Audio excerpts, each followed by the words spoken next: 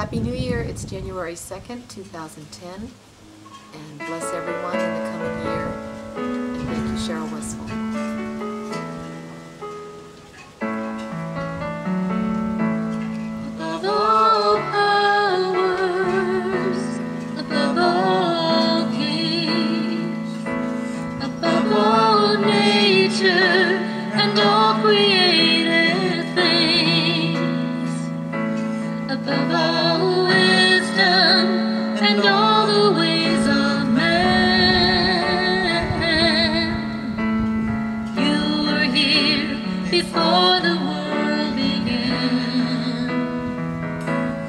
따다